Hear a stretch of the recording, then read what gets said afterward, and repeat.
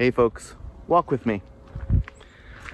I came across a video the other day and it was it was slightly different than the subject of this video, but I'll kind of tell you how I got there. So this video was about was, the the title is something to the effect of why are the products that are advertised on popular podcasts why are they usually so crappy? and that kind of made me giggle because I feel like I've fallen for one or two of them in the past and kind of had that experience of being like, what is this piece of junk?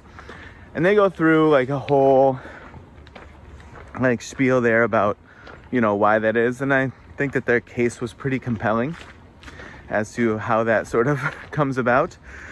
But the one thing that stood out to me that sort of led me out on a little bit of a side path from the purpose of that video was now they had mentioned i think if i'm if i'm remembering it correctly they had said that there was like a study or something or there was information out there that 70% of people who listen to i guess sort of like the most popular or the most like cult of personality podcasts 70% of the people that listen to those consider the podcast host to be a friend. Now, I tried to look up some other stats, and the basic gist was like, this is really hard to like parse out. Um, so I saw things like from 50% onwards, but sort of seemed to be that the uh, the bulk of what was out there was like at least 50% of people consider the podcasts that they really enjoy listening to, that they, that they consider that host to be a friend of theirs. And, you know, it got me thinking about like how we talked about isolation and the dangers of being isolated here on this playlist before, but there's also something about the information age, if you will, which we're obviously still very much steeped in. Um, many people would say that we're sort of getting to a post truth era, but without delving into that, it is interesting that you can sort of be consuming knowledge that you just wouldn't have had access to, certainly not access to as easily right, in any other sort of period of time. Um, but that that sort of prioritization of that cuts us off from the real existing in-person world. It's part of the reason for doing these videos outside while walking. It's not just because I don't want to put a lot of effort into editing and production. It's um it's also that sort of thing that I think I think is a saying out there. I feel like I've come across it a few times with content creators much younger than I am, but I think they they're like talk about somebody who's just sort of like going off and is all consumed about something that doesn't really matter online.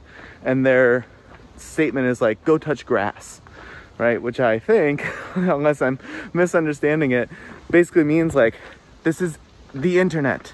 This isn't real life, real life. Uh, go outside, like, and and connect with nature. That's the real stuff. Um, and if that's not what it means, that's what I'm going to talk about here. Um, but yeah, it's I could see a world in which you know the priorities being such that I need to stay on top of the podcasts that I enjoy because it's giving me information that I need and um, you know all this stuff that's again just sort of like hyper tuned to the information age. But um, as I think my old buddy Wayne Dyer would have said you know there's information and there's inspiration. And the information age is sort of the opposite of the inspiration age. Um, you know, being out with your own thoughts, being out and, and observing how nature takes place and that you are a part of this thing. So your observations about how nature exists and what it does and that is reflective of you as well whether you sit behind a keyboard all day or not, you still come from this, you will still return to this, and um, and that there's a lot of value in not losing sight of that. So people being so bought into must prioritize information and that then causing them to have constantly like AirPods in, earbuds in, whatever, and um, being then further disconnected from any in-person interaction, right? And then with the ramp up of fully remote work or even partially remote work, um, and people sort of getting used to or having gotten used to being isolated during the pandemic and feeling like they're still sort of stuck in that in some ways. Um, you know, it's it's pretty challenging, and I can see the kind of grasping at straws for like Joe Rogan is my friend, or like even if you don't think that they're your friend, to feel that you have this sort of like knowledge of them, right? That to some degree you know them. There is something there that's very close to a feeling of intimacy, like a friendship would be, right? There's some something that you're getting from this idea of I understand that person, I feel close to them. Um, and so even if you wouldn't put the moniker of friend on it, if you have that sense of, oh, I know Theo Von, right, or whatever it is, um, then you know you might sort of be in the same trap, isolation mindset wise, as somebody who just flat out is like, oh, I consider them a friend. So, consuming that information, being an isolating sort of activity in and of itself, and then confusing these people that you sort of spend a lot of time with, right? In a way, in a very one sided way. You spend a lot of time with them and buying into this idea that there is then some level of meaningful closeness right? The if you don't want to say intimacy because you're weird about that word because you think you have to be an alpha male or something.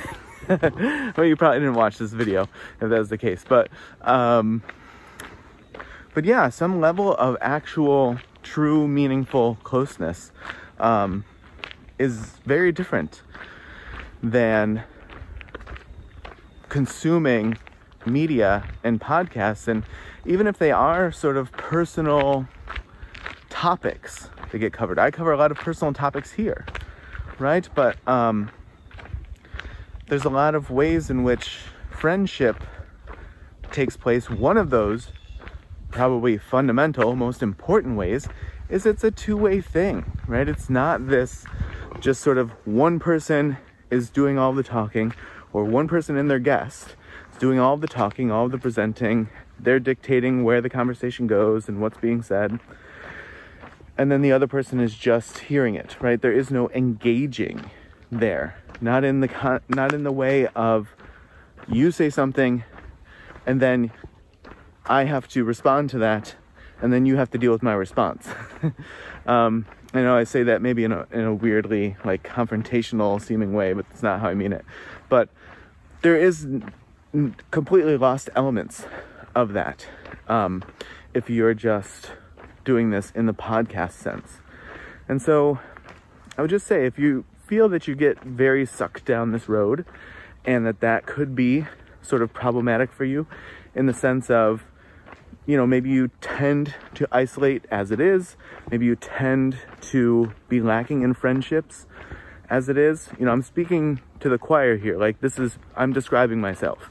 Um, and that you then knowingly or not has sort of replaced those the potential for those real life things with you know podcast hosts or tv hosts or whatever it is. It doesn't have to be podcast hosts. Um, you know maybe consider the impact that that's having that is a further drain and is just keeping you further separated from the world and those dangers of what isolation does to a person and to then a family unit and then to a society. All right, folks, we got about 10 minutes in today, And as always, I appreciate you watching, whether you walked with me or not. And I will see you in the next video.